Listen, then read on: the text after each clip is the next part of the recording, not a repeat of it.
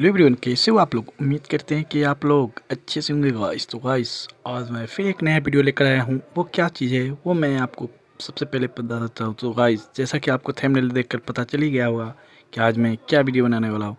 तो गाइस देखिए, आज मैं, जो मेरे हाथ में है ना, ये एक नेक बैंड ब्लूटूथ ठीक है? मैं फिर से एक नेक बैंड ब्लूटूथ में वीडियो इसलिए बना कर लाया हूँ कि हर एक ब्लूटूथ में अलग अलग प्रॉब्लम होता है, ठीक है? अगर आपके साथ भी ऐसा प्रॉब्लम हो तो आप खुद से सॉल्व कैसे कर सकते हैं? या आप आपको पता चले कि इसमें प्रॉब्लम क्या है? तो इसी के लिए मैं ये वीडियो बना रहा हूँ। तो गाइज़ इसमें जो प्रॉब्लम है ना, वो मैं बता, इससे चार्जिंग रिलेटेड प्रॉब्लम है। तो गाइज़ इसमें जो प्रॉब्लम है तो इसमें होता क्या है ना, अब मैं आपको बता देता हूँ। जैसा कि देख रहे हैं ना, ये चार्जिंग पिन है, ठीक है कनेक्टर है। तो इसमें सभी पॉइंट सही है, फिर भी इसमें चार्ज में लगाने पे ना मतलब ये चार्ज नहीं होता है, कुछ ऊपर नीचा करने से ये चार्ज होता है, ठीक है। जैसा कि मैं अभी आपको दिखा देता हूँ, थोड़ा सा चार्ज करके तो उसके बाद में आपको पता चल जाएगा कि इसमें प्रॉब्लम आता कैसे है।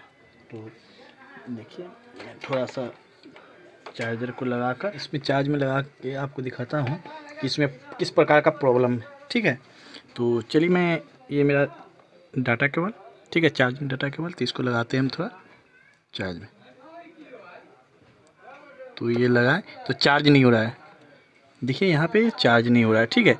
तो दोस्तों, ये चार्ज कब होता है ना? इसको थोड़ा सा ऊपर नीचा कीजिएगा, ऐसे पुश कीजिएगा, ऐसे कीजिएगा, दिखाते हैं हम आपको।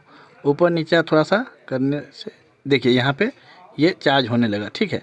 और इसको छोड़ दीजिएगा तो ये चार्ज नहीं हो रहा है।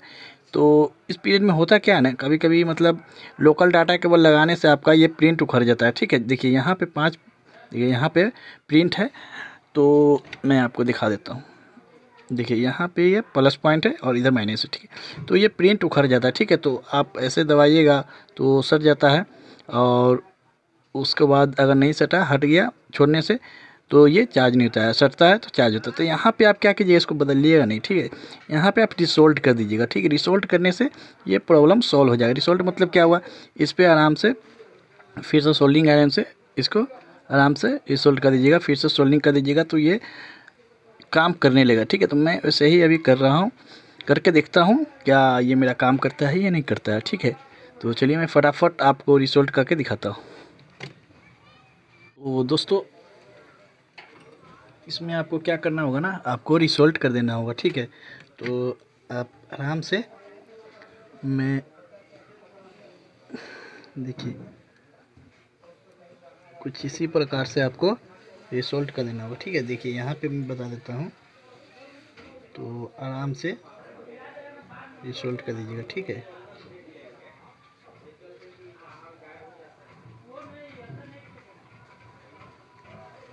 कुछ इसी प्रकार से आपको सोल्डिंग लेना है और इस पर चलाना है ठीक है? तो, तो दोस्तों मैं क्या क्या हूँ ना यहाँ पे रिसोल्ट कर दिया हूँ। जैसा कि देख रहे हैं देखिए यहाँ पे प्लस और माइनस पे रिसोल्ट कर लिया हूँ।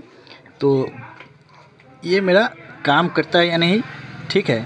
तो चलिए मैं आपको दिखा देता हूँ थोड़ा डाटा केबल लगाकर चार्जिंग लगाकर दिखाता हूँ। क्या ये मेरा काम करता है नहीं? तो देखिए ये मेरा चार्जिंग केबल है। और मैं आपको लगाकर इसमें दिखाता हूँ। देखिए, मेरा लग गया और देखते तो दोस्तों, यहाँ पे देखिए, ये चार्ज हो रहा है, ठीक है? इसमें कोई हिलाना डुलाना नहीं पड़ रहा है हमें, क्योंकि यहाँ पे इसका प्रिंट हटा हुआ था ऊपर नीचा करने से। तो मैं रिसोल्ट कर दिया तो दोनों सट गया, ठीक है? आपको पिन चेंज करवाने का दरकार नहीं है, या पिन चेंज करने का ज़रूरत नहीं है, ठीक है? तो ये मेरा अच्छा तरीक़ा से देखिए, ये काम करने लगा, ठीक है? अगर आपका चार्जिंग ख़राब हो जाए तो आप इसी प्रकार से कर लीजिएगा। आपका पिन भी चेंज नहीं करना होगा और आपका प्रॉब्लम भी सॉल्व हो जाएगा। ठीक है? तो आई होप आपको ये वीडियो अच्छा लगा हो। अच्छा लगा हो तो लाइक कमेंट और शेयर कर दीजिएगा। अगर मेरे वीडियो से आपको कुछ सीख मिला हो, कुछ जानकारी मिला हो, अगर पहली बार आए होंगे तो सब्सक्राइब कर दीजिए और अपने दोस्तों में भी शेयर कर दीजिएगा। तो लोगों को ऐसा प्रॉब्लम को फेस करना पड़ता है।